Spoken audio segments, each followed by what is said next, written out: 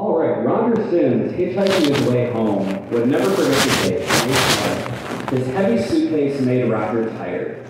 He was anxious to take off his army uniform once and for all. Flashing the hitchhiking sign to the oncoming car, he lost hope when he saw it was a black, sleek new Cadillac.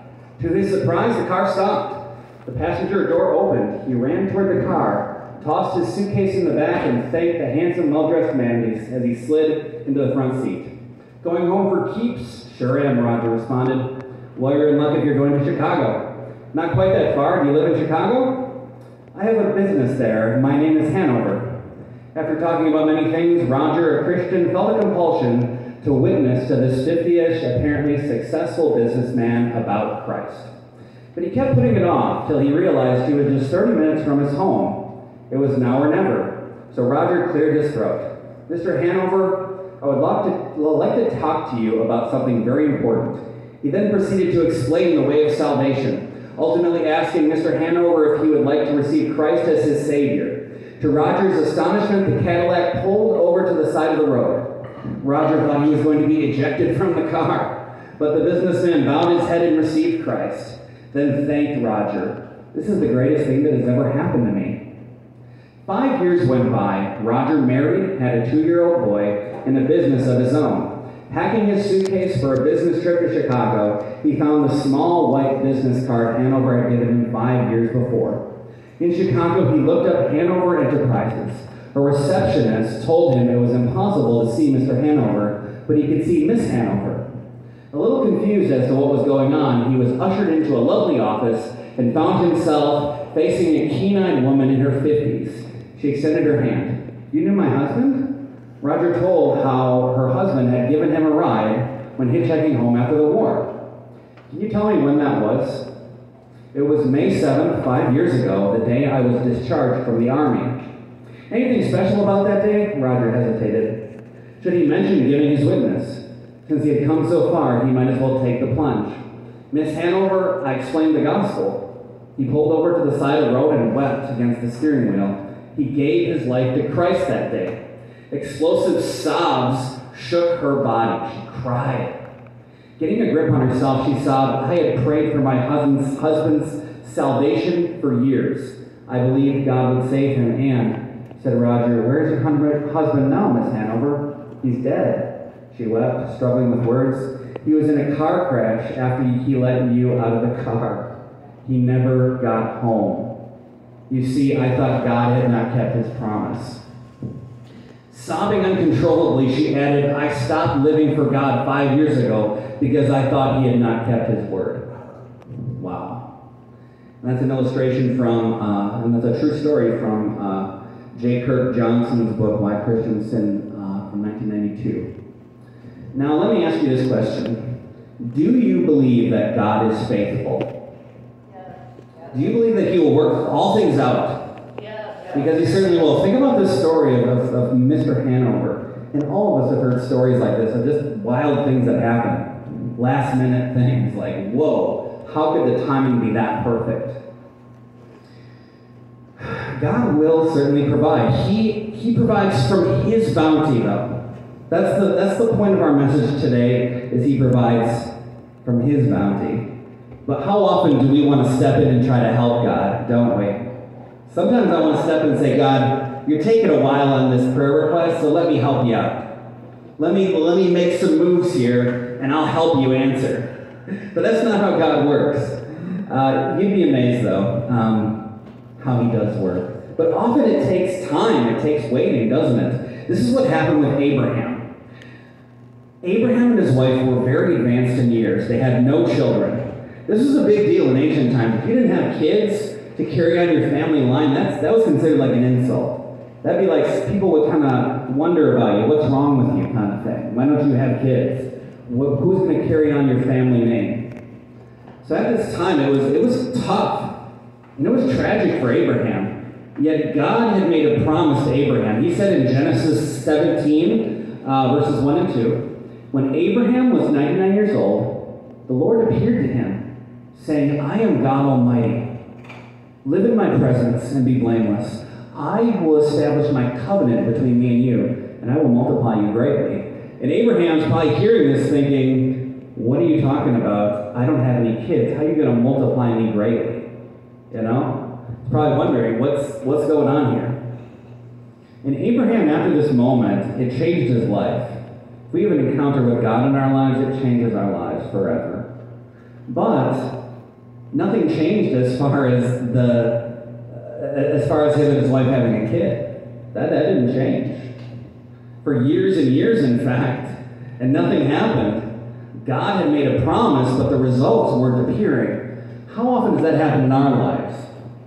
We, we know God is going to gift us with something wonderful that we want, but we end up waiting and we wait and we wait and we wait, and it seems like nothing's happening. That's, that's tough, isn't it? It's one of the hardest things is to wait. Yeah. And how often do we have hopes and dreams and plans and we wait for God to make them a reality? And, and, and time passes, more time passes, years pass by, and we start to lose hope. Our faith starts to dwindle.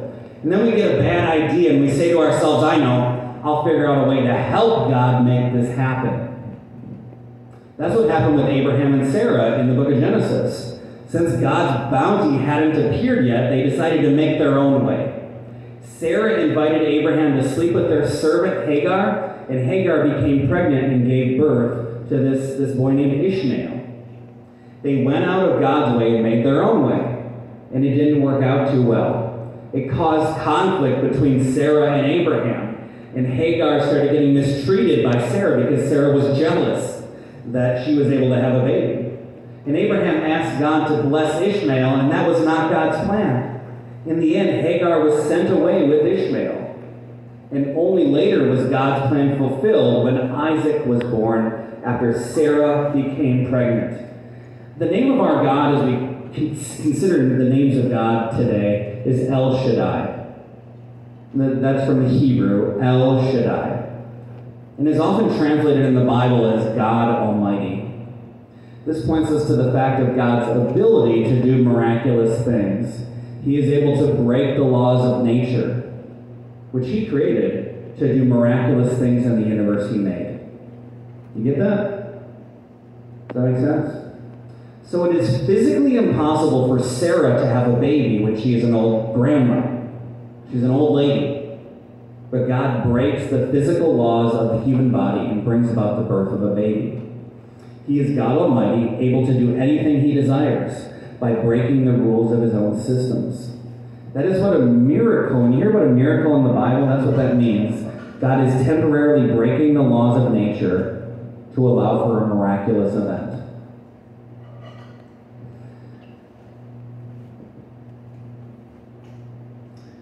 God often will suddenly provide something that seemed impossible. That is a miraculous event. Yet there is also a deeper meaning to the name of God, El Shaddai. El Shaddai also means the God that brings forth his bounty and riches out of himself to us. Abraham and Sarah learned this that what they desired could never come from their own efforts. It had to be a gift from God. Had to be a gift from God. It had to come from his bounty, from his storehouse, from his wealth, not from themselves. That is who God is to us today in your life right now, God is the one who will call you, who will confirm you, and who will create in you what you need. And He calls on us to wait on Him, and then later God will provide from His own bounty.